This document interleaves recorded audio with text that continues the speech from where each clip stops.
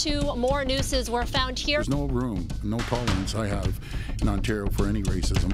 Thousands of nurses and personal support workers say they have to leave their professions. They cannot afford to stay in this job. A brand new river valley is being created. That building will come down.